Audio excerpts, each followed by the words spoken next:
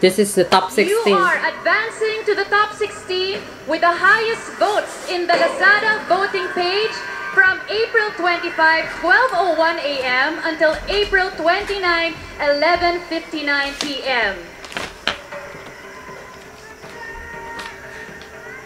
It's you, Nueva Vizcaya! Oh, Nueva Vizcaya. Wow. Wow, wow. Take your spot.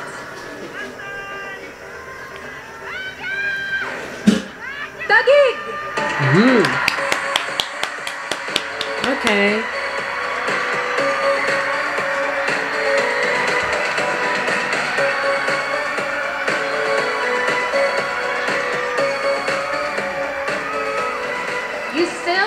Shot for the crown.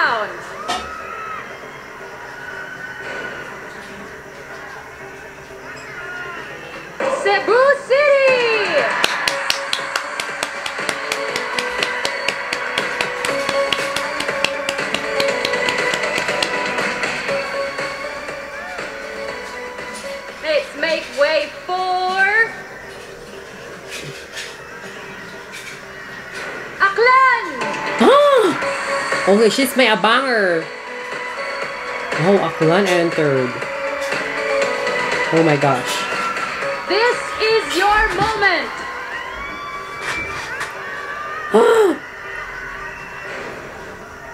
Makati!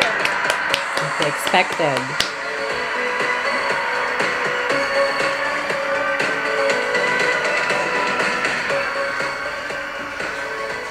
Is killing me. Five down, 11 more to go. You are a part of the top 16.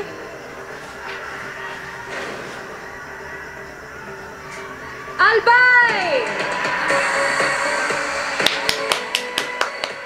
Julia, yes. Seven is your lucky number.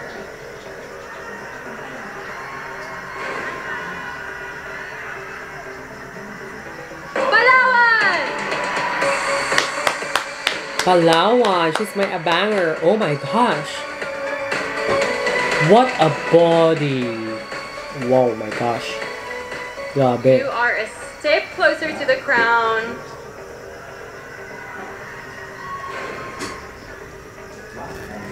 Ilo Iloilo Province! Iloilo province.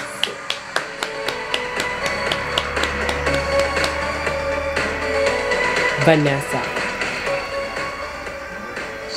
Because you are in.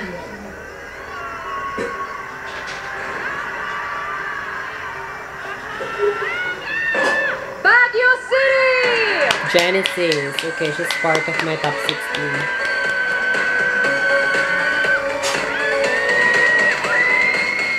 It is your turn to celebrate.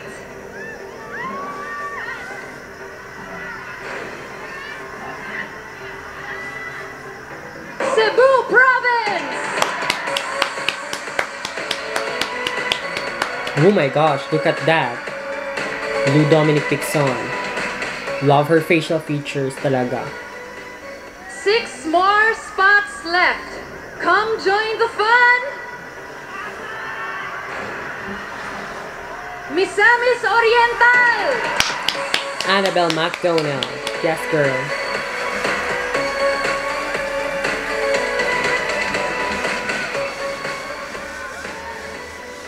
On over and join the club?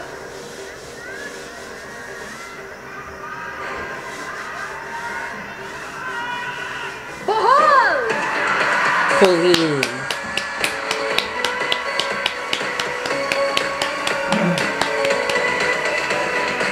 Claim your spot.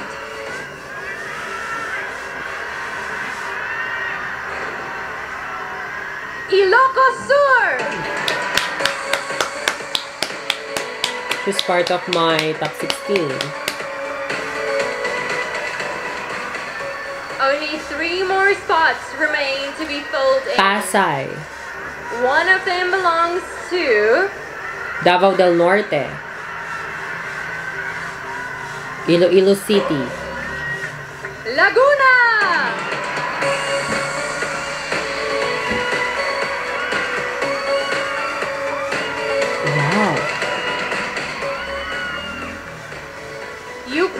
For this and now it's been answered.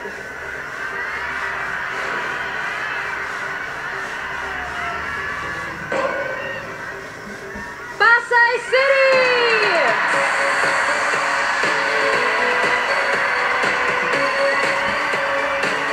Okay, she's the crowd favorite. Wrapping up the top 16. Davao del Norte. Oh my gosh, Davao del Norte.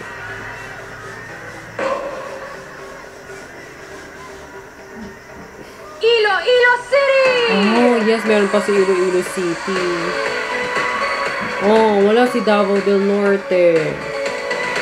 Sabi ko na, pasok talaga sa Iloilo Province sa Iloilo! City. The future Miss Universe Philippines 2022 queens will come from these gorgeous Oh my gosh, in hindi nakapasok si Davao, ano? Congratulations to our Del Norte. And now the Lazada voting line is officially open. Oh my gosh, Pangasinan also. through the swimsuit evening gown Oh round to help your favorite candidate make it to the top 10. Yeah, I know Cebu. Two Cebu will enter. Let's Two Iloilo will enter. Okay, let's see. At the Kumu Lounge, with tabulated Oh and verified by our official accounting firm, SGV and Company. You are all deserving of a crown, but there can only be one queen. This is my Here we list go. from RJ Ignacio Vlogs. Pasay, Cebu, Makati, no Oriental, Bohol, order. Taguig, Baguio, Iloilo, Cebu Province, Albay. You are part of the top 10.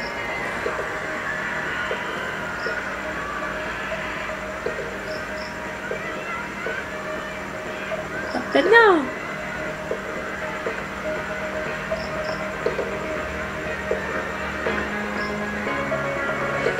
Makati! Okay. One down.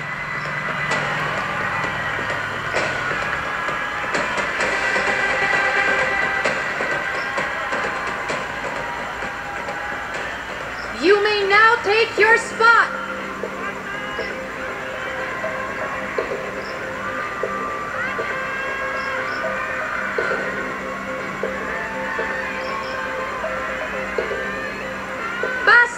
City! Pasay. Two down. Oh my gosh, alam mo tong si Pasi, parang nakita ko parang mga, lakas maka Puerto Rico yung gown niya. Right? Heading to the next round is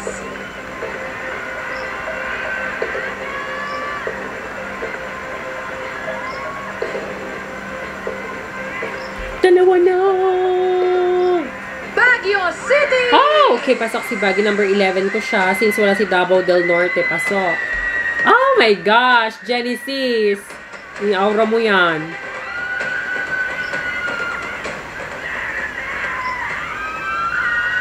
Also Sentimental favorite ko si Baggy.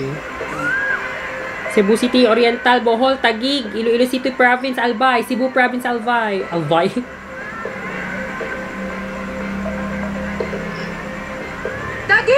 Oh! Taguig, yes! Ah!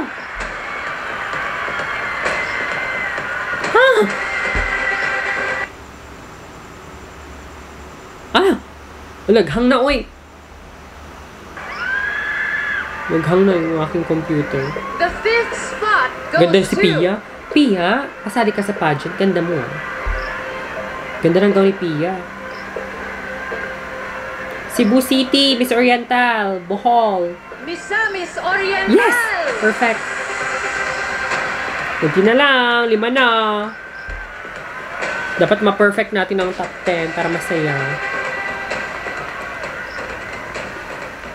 Cebu City, Bohol, Iloilo, Iloilo, The next Iloilo City, Cebu. Province, Albay.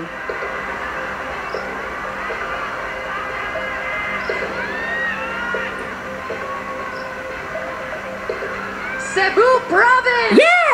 Louis Pixon, go. 2, 4, 6, 6 na. Apat na lang!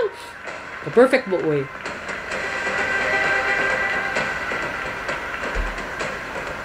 Labanan na to, uy.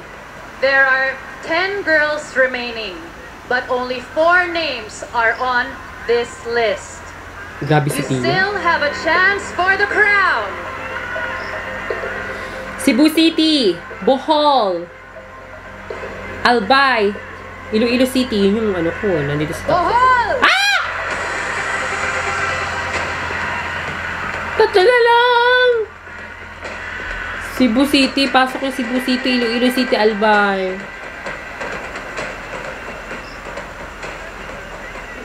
You are one step closer to your dream.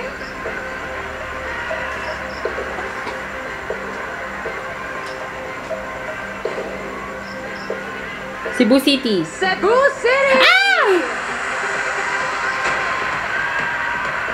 Dalawa na lang. Ay, ka-perfect boy!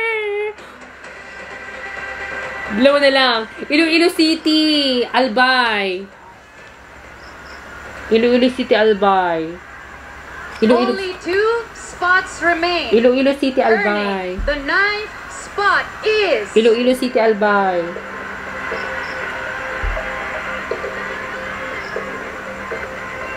Iloilo City, Albay. Naghang? Ano to? Kaya pa? Ah! Albay! Oh my gosh, isa na lang! Iloilo City, naka-perfect na. Uy, uy! Iloilo City, dong. Iloilo the City. last woman Iloilo to City. advance in the top 10 is We need Iloilo City.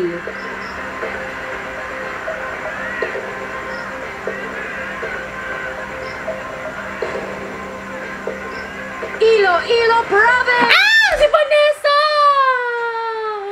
Ah, bongga. Okay. Hindi nakapasok si Iloilo City. Si Vanessa ang nakapasok. Ay, oh. So, 9 out of 10, mga kapamilya. Okay. Si Vanessa Caro ang napasok. At least Iloilo pa din. your Top 10. Okay, thank you so much. You did all great.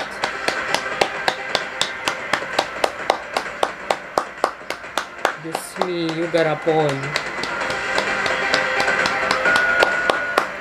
Eto na, bakbakan na to ng mikropono. Shit! Gagaling nila. Ah! Sorry, na. May pagkaano pa yung ano ko. Eto na talaga, uy.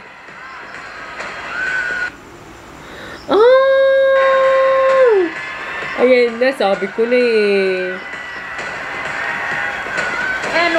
Them will be the new Miss Universe Philippines. Ka-perfect ba, uy? 9 out of 10. Si Vanessa Caro talagang umiksena talaga. Congratulations to your candidate. who Galing pa yan to the top magdakdak. You are one step closer in bringing home the crown. To all the See you guys. Subscribe. And now, the voting continues after we reveal the names of the top five. Who among our top 10 will make it to the final stretch of the competition? Filipinas, are you ready? Yes. We will be announcing our top 5 where the uniquely beautiful queens will arise. Tabulated and verified by our official accounting firm SGB and Company, here are this year's top 5.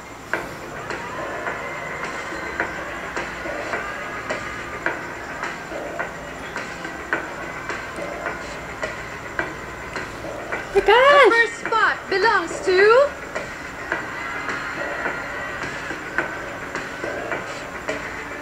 Misamis Oriental. Diyos ko, bakbakan to mamaya. One down, Miss Or. The next to advance to the final round is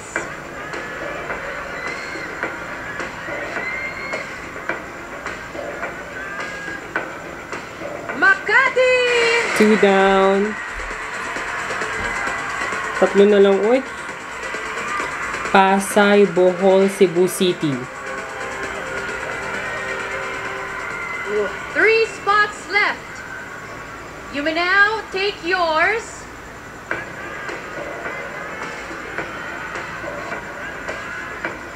Tagig! Oh my gosh. Abangers ko lang siya sa number 6. Oh my gosh. Ala! May isang malalaglag sa ano. Ala, uy. Only two spots remain. And there are seven names of women I haven't called. Diyos ko, Lord. This is your lucky night.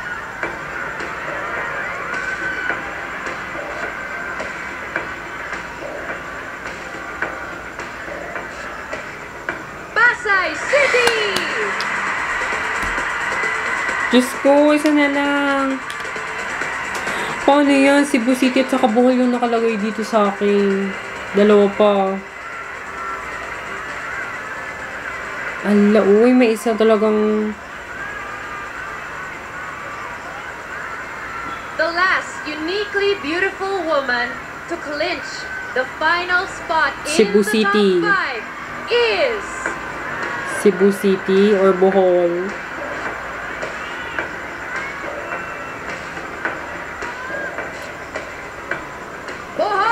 Ah, Bohol. Okay, pasok siya sa top 5 ko. So, si Chantal ang nalaglag. Chantal ang nalaglag sa akin. Ayan, Diyos ko. Bakbakan to mamaya. Philippines, this is your top five. And one of them is going to be the new Miss Universe Philippines.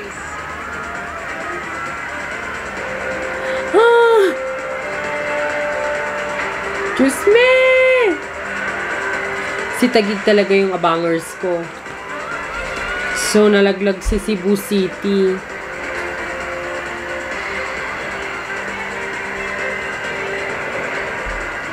Annabelle, galing ni Annabelle. The Lazada app is up again. This is your last chance to vote for your favorite candidate.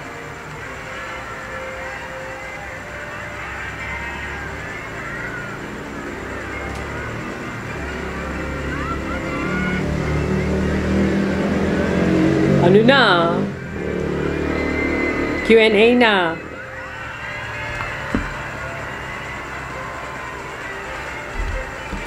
Diyos ko, kabang-kaba tong mga ano. Kasi ako nga na nanonood, kinakabahan na ako. Final stretch, final Q&A na. Wala, hindi ako nanonood ng Miss Grand Thailand. Bukas na lang yun. Sabay-sabay kasi. The So, final Philippines tayo question and yun. eh. answer happens right now. We have five envelopes here that contain different questions. Tong si Annabelle talaga. round, Knowledgeable talaga. 30 seconds to answer, and when you go beyond that, you will hear this sound. That sound. All right. This is your last chance to prove that you are deserving of the crown. Oh my gosh. So our judges will be listening closely to determine the winner in this batch. Please come forward. Miss Samis Oriental.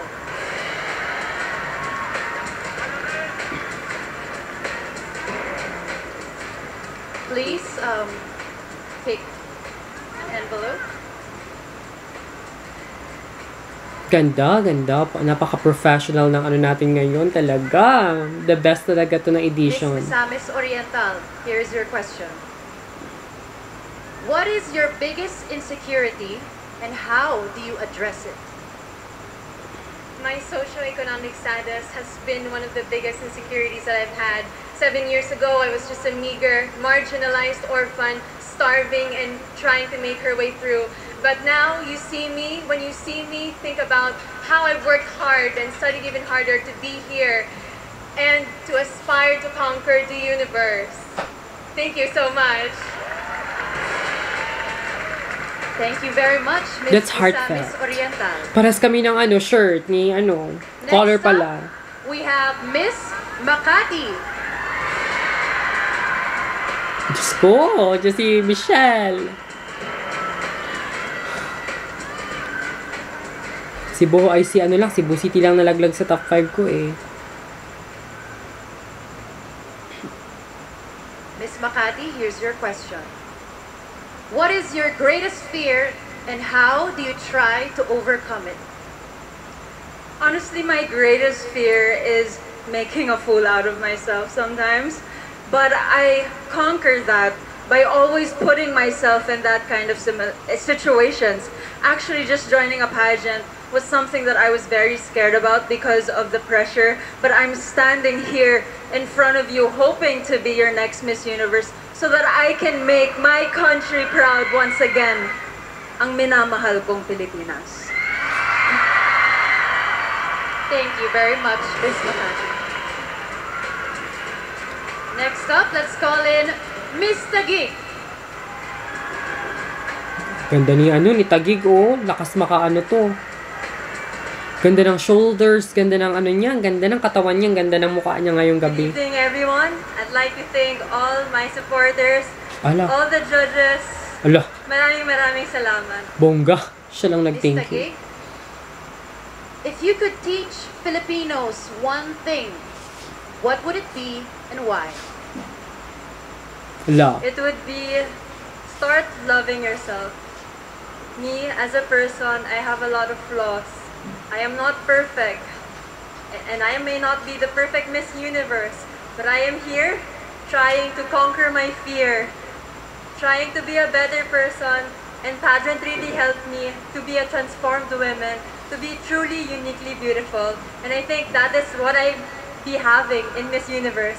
That is my greatest. Thank you. Thank you very much. Nabitin sa bandang huli. Oy! Let's call on Miss Pasay. Ay, Diyos ko, Pasay! Laban mo, Pasay! Miss Pasay. Naiyak na ako, Bes.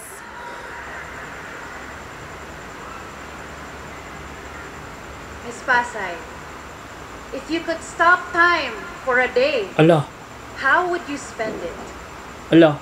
If I could stop time, I would spend it with my family, especially my mother. It's been two years that I don't see my family because they live in Italy and I came here in the Philippines just by myself. So if I had a chance to spend one day, I would definitely be with my mom and I would just tell her how much I love her and I miss her. Thank you. Ah! Napaka ano! Thank you, Miss Oh, Pasay. napaka-sweet, napaka-ano. Next up, Miss. Bohol. Paborito ko ba talaga si Pasay? Halata ba? Lord. Bahala kayo dyan. Well, Kailangan maging objective tayo dito. left. Char. So, honor is yours. Hmm, tangka di Bohol, oh. Gusto tangka siya kay Pia. What is that one life-changing decision that you've made? And what was its impact on your life? The life-changing decision I've made was to join Miss Universe Philippines again. Despite being bashed before for my body, being doubted by people, I found strength in myself. And this story can be a testament for other people to draw strength from too. That a second chance can be as just as sweet, and you can still achieve your ultimate a second time around. Galing! Shoota ka, Bohol! Thank you, Miss Bohol. Grabe ka, Pauline. Presenting this year's Final Five. And one of these five uniquely beautiful women will be our next queen. Galing. Wala ba top 3? Uy, tapos top 3 top Q&A ulit?